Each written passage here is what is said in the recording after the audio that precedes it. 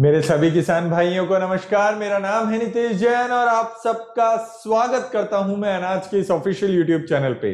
दोस्तों, आज के इस वीडियो में हम आपको जानकारी देंगे बायर कंपनी की लेसेंटा दवाई के बारे में। जी हाँ दोस्तों लेसेंटा दवाई के बारे में इस वीडियो के माध्यम से आपको इस दवाई की तमाम तरह की उपयोगिता बताएँगे, इसके टेक्निकल नाम के बारे में जानकारी देंगे और साथ ही साथ में दोस्तों इसकी डोज के बारे में भी बताएँगे।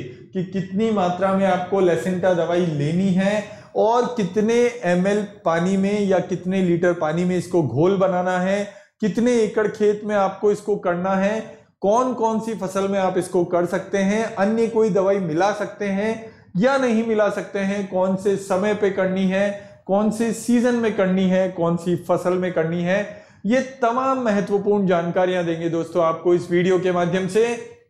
वीडियो के अंत में जैसा कि हम हर वीडियो के अंत में बताते हैं, दवाई करते समय हमें किन किन बातों की विशेष सावधानियाँ रखनी चाहिए, उन सब के बारे में भी जानकारी देंगे।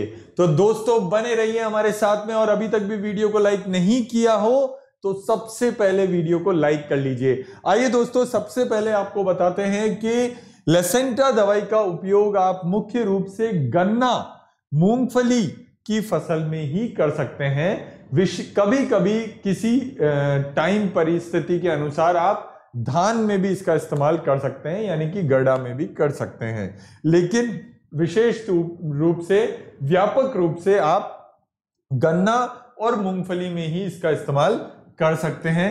और दोस्तों, इसके टेक्निकल नाम के बारे में आपको बता दूँ कि इमिडा क्लोरोपिड इसमें 40 परसेंट है और फिप्रोनिल 40 परसेंट है। डब्ल्यू जी फॉर्मुलेशन में ये टेक्निकल इसमें मौजूद है और इसीलिए इसकी डोज भी बहुत खास हो जाती है। गन्ने में अगर आप इसको दो बार इस्तेमाल करते हैं तो 200 सौ प्रति एकड़ के हिसाब से करना है। एक बार करते हैं तो 500 सौ प्रति एकड़ के हिसाब से करना है। मूंगफली में 100 से 120 ml प्रति एकड़ के हिसाब से आपको इसका इस्तेमाल करना है। तो दोस्तों बताई गई डोज के हिसाब से ही आपको इस्तेमाल करना है। डोज ज़्यादा या कम आपको नहीं लेनी है। इसीलिए हम आपसे दरख्वास्त करेंगे कि जो डोज हम बता रहे हैं आपको, उससे आपको बिल्कुल भी चेंजेस उसमें नहीं करने हैं। आइए दोस्तों, आगे बढ़ते हैं। महत्वपूर्ण जानकारियाँ दे देते हैं आपको। ये वाइट ग्रब, होलोट्रिचिया कौन से गुएना? ये एक टेक्निकल नाम है दोस्तों। आदि रोगों की रोकथाम के लिए प्रयोग होता है। व्हाइट ग्रब जो होता है ना, जो सफ़ेद सफ़ेद धब्बा हो जाता है पत्ती पे या तने पे, उसके लिए विशेष रूप से प्रयोग होता है।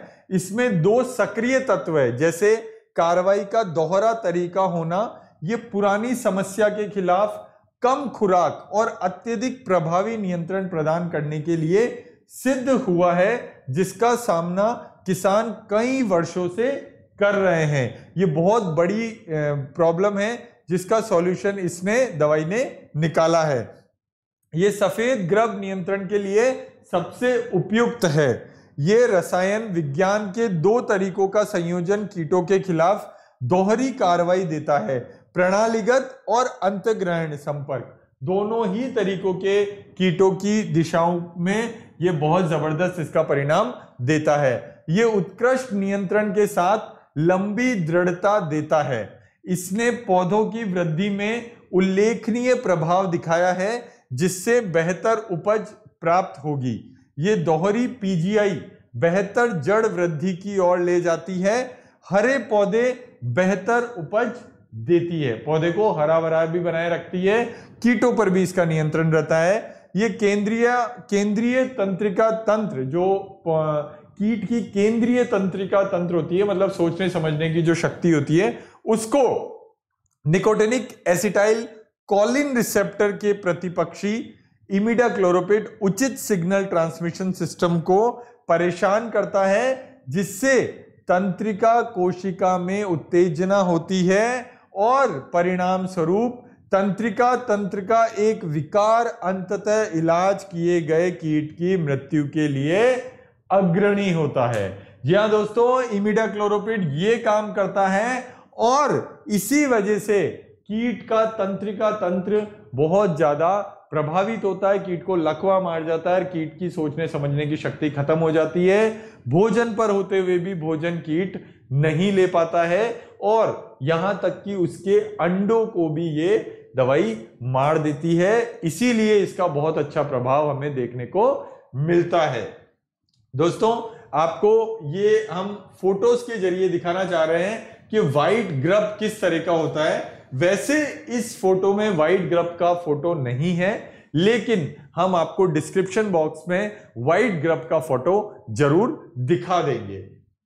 और अब बात करते हैं दोस्तों सावधानियों की। सावधानी रखना बेहद ज़रूरी है दोस्तों। कोई भी दवाई आप करें, सावधानी रखना बेहद ज़रूरी है। बच्चों को दवाई की पहुँच से हमेशा दूर रखना है।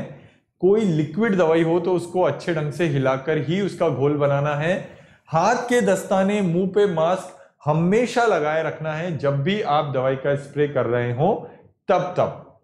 और दोस्तों, भूखे पेट तो हमें कभी भी खेत में स्प्रे करने जाना ही नहीं है। जितना हो सके अच्छे ढंग से, बेहतर तरीके से स्प्रे अगर आपको जब भी करना है तो नैपसेक स्प्रे पंप और फ्लैट फ़ैन नोजल का ही उपयोग करना है।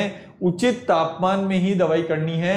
ज़्यादा गर्मी में आपको कभी भी दवाई नहीं करनी है और डिब्बो पैकेट खाली बॉटल प्लास्टिक की हो चाहे टिन की, इनको सबको नष्ट करके वहीं ज़मीन में गाड़ देना है। अन्य किसी भी उपयोग में इन दवाइयों को हमें नहीं लेना है।